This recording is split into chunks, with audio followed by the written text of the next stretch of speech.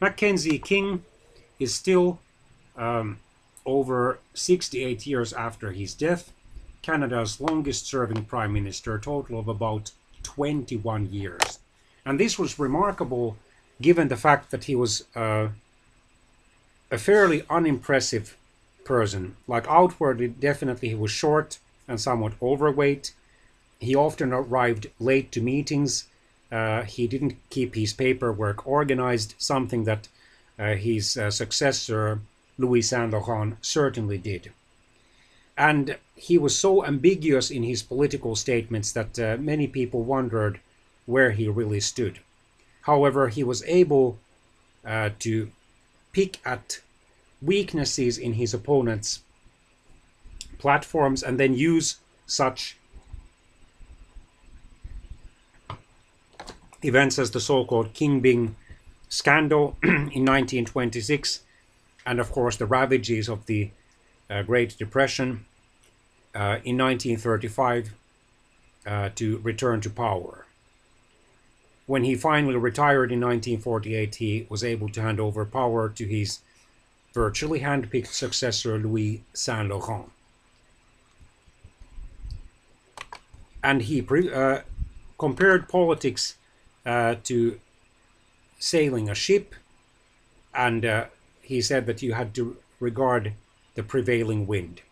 And then he once pointed uh, to the spire of a distant church. He said, uh, Look at that uh, church or that spire. If I try to reach that point directly, I shall drown because it was on the other side of a lake or, or river. But he said that the way to reach that point was to go around, go about, and then eventually he would get there, although at times he would actually seem to be going somewhere else. King was born in December 1874 in Kitchener, Ontario, and he died in July 1950, aged 75, in Chelsea, Quebec. He was educated at the University College of Toronto, then at the um, Osgoode Law Hall Law School, at the University of Chicago without a degree, and finally at the Harvard University. A modernizing technocrat who regarded managerial mediation as essential to an industrial society, he wanted his Liberal Party to represent liberal corporatism to create social harmony. And under his uh, cabinets, Canada finally enacted some parts of the so called welfare state. So his uh, terms as prime minister, the first one from December 1921 to June 1926, the second one from September 1926 to August 1930, the third one from October 1935 until his retirement in November 1948. Um, scholars attribute King's long tenure, some 21 years, as party leader to his wide range of skills that were appropriate to uh, can, uh, Canada's needs. He understood the workings of capital and labor. Keenly sensitive to the nuances of public policy, he was a workaholic, although by no means an organized workaholic, with a shrewd and penetrating intelligence and a profound understanding of the Canadian society's complexities.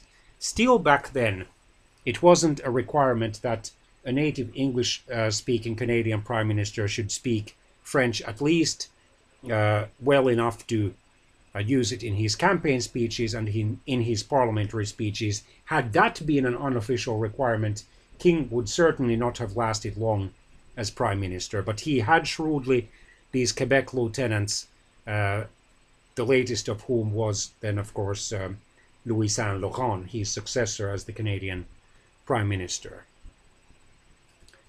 Cold and tactless in human relations, he had many political allies but very few close personal friends, and uh, he was somewhat of a mystic. He actually relied on mediums, and he claimed that he had conversations, in quotation marks, with his beloved late mother and the late Prime Minister Wilfrid Laurier, and even with his dead dog. that when he uh, one of his dogs died in 1941, he sang hymns. Um,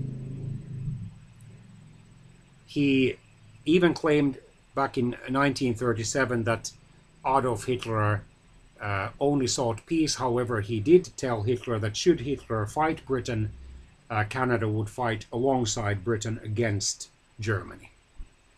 In 1997, the Maclean's Magazine of Canada uh, surveyed scholars, professors, and other highly educated people and ranked King first among all of Canada's prime ministers until that time, ahead of Sir John A. Macdonald and Sir Wilfrid Laurier.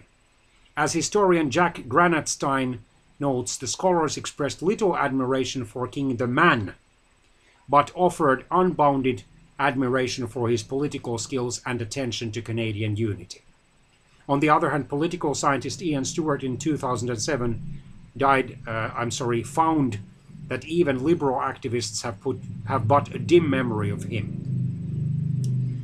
And in one uh, Canadian's uh, poetic statement, he said that truly he will be honored where people, or remembered where people honor ambiguity and something else, uh, and political longevity was the last one. He never uh, said clearly where he stood on controversial issues when he could avoid it, while one of his predecessors um, as Prime Minister, Meighen never hesitated uh, to uh, publicly announce his views on controversial issues.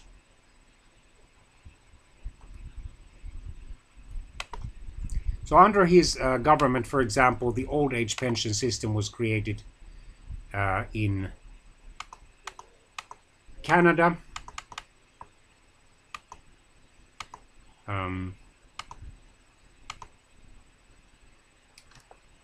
in 1923, the King government passed the Chinese Immigration Act, which banned most Chinese immigrants from Canada. Immigration from most countries was controlled or restricted in some way, but only the Chinese were so completely prohibited from immigrating. This was after various um, federal and ministers and some uh, provincial ministers, especially British Columbian ones, had put pressure on the federal government to discourage Chinese immigration. Uh, stri strides were taken uh, towards uh, comprehensive city uh, planning in Canada during uh, King's governments. There were, however, corruption scandals, for example, the Beauharnois scandal in Quebec and then uh, the Canadian Customs Department bootlegging scandal in 1926, which temporarily resulted in his uh, fall from power. Um, the Bal Balfour Declaration of 1926 and the Statute of Westminster in 1931 declared Canada, South Africa, Australia, and New Zealand to be equal with Britain. In other words, uh, it uh, virtually declared their independence. King expanded the Department of External Affairs, or the Canadian Foreign Ministry, to further promote Canada's autonomy from Br uh, Britain. He also extended provincial powers by transferring to the Manitoban, Albertan, and Saskatchewan, Saskatchewanian governments the ownership of uh, those provinces' crown lands, as well as the subsoil rights. Um, the Federal Home Improvement Plan of 1937 provided subsidized rates of interest on rehabilitation loans to 66,900 homes, while the National Housing Act of 1938 made provision for the building of low rent housing. Another housing act was later passed in 1944. Its goal was to provide federally guaranteed loans of, or mortgages to individuals who wished to repair or construct dwellings through their own initiative. Um, unfortunately, in June 1939, Canada, along with Cuba and the United States, refused to allow 900 Jewish refugees aboard the passenger ship uh, MS St. Louis to uh, enter the country. If they had allowed uh, been allowed to enter and stay there for the duration of the uh, Second World War, which was about to start, they would certainly have survived. I just wonder how many of them died in the Holocaust. Uh, King George the Sixth of Britain, along with his wife, the Queen's consort Elizabeth, visited Canada in 1939. Canada waited for one week in early September 1939 before declaring war on Germany. Uh, then there was uh, the referendum in the spring of 1942 on uh, the conscription crisis um, or, or, on the conscription issue, where a clear majority of Canadians, but uh, not in Quebec, um, gave the government a mandate uh, to introduce conscription later should it uh, prove necessary. Over 80% of English Canadians supported uh, the conscription uh, in the plebiscite, or at least of uh, the voters in the English Canadian provinces, but over 70% of the voters in Quebec opposed it. Over 15,000 Canadian conscripts did go to Europe, although only a few hundred saw combat. Uh, French and English conscripts were sent to fight in the Aleutian Islands in 1943, but the Japanese troops had fled before they arrived. Uh, Canadian soldiers sustained heavy losses in the Dieppe raid in France in 1942, in Italy in 1943, and the battle and after the Battle of Normandy in 1944. Finally, in November 1944, the Canadian federal government decided to introduce uh, conscription. Then, sadly, King's government allowed the internment of Japanese Canadians in Western Canada, especially British Columbia, with the pretext that they were potential spies for Japan. Finally, in September 1988, Prime Minister Brian Mulroney, a progressive conservative, apologized for the internment, and the Canadian government announced a compensation package. Throughout his tenure, King uh, did uh, try to increase Canada's autonomy, but wanted to keep, keep it inside the British Commonwealth. Um, he lacked a commanding presence or, or oratorical skills. He did not shine on the radio or newsreels, and there was scant charisma. Uh, and his allies were even annoyed by his constant intrigues. And he's not remembered for great major policy innovations as prime minister.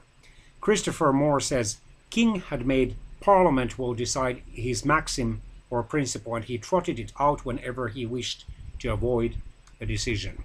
However, he was keenly sensitive to the public policy's nuances, um, and he worked hard, although uh, he definitely did not keep to the schedule.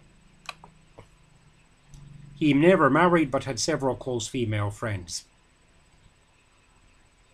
Uh, and there are some passages in his diaries which have caused certain historians to claim or suggest, rather, that he regularly had sexual relations with prostitutes. Uh, along with Wilfrid Laurier, he was the only other Canadian Prime Minister to be in office during the reigns of three Canadian monarchs. Uh, in Laurier's case, uh, Queen Victoria King Edward VII and uh, King George V. In uh, uh, King's case, uh, King George V, uh, King Edward VIII, and King George VI. He was ranked as the greatest Canadian Prime Minister by, by a survey of Canadian historians, and he was named a person of national historic significance in 1968.